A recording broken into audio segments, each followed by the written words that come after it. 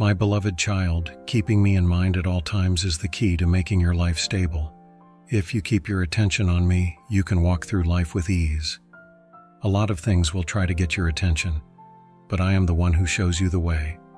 Please keep your eyes on me, and you will see that I am calling you forward one step at a time, all the way to the end of time. Let's pause for a moment and offer a prayer together.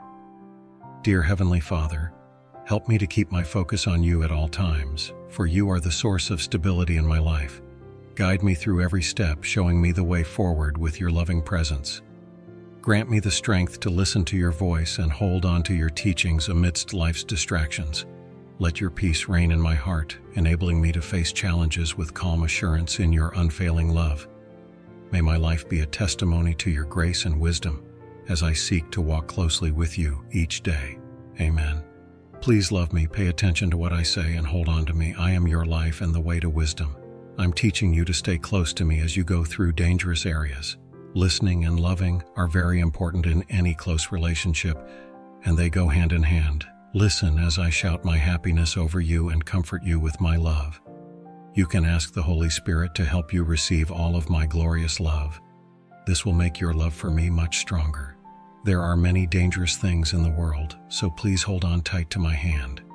I will lead you through hard times through my spirit and my word. Know that I am your safe place and pour out your heart to me. As long as you keep talking to me, I will help you get through whatever comes next. Hold on to me, dear one, because I am your life.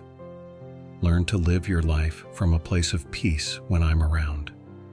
As the Prince of Peace, I am with you and inside you. You can choose to live your life from this peaceful place of union with me by focusing on me. It gives you the strength to stay calm in stressful situations. We can solve your problems together, even though you don't need to worry. The harder things get, the more tempting it is to speed up and forget about my calm presence. When you realize you've left your peaceful place, come back to me right away. Call on my name because it brings you back to me and makes you feel safe. Don't let the fact that you drift away from me get you down. You are trying to make a new habit which takes time and consistent work. The rewards, on the other hand, are well worth the work. Your life will be more peaceful and happy if you come back to me to where we rest. I will make you well again and heal your wounds. I work in your life all the time. I am with you inside you and all around you, even when you aren't aware of me. My presence is still very strong on you. This light has a huge ability to heal.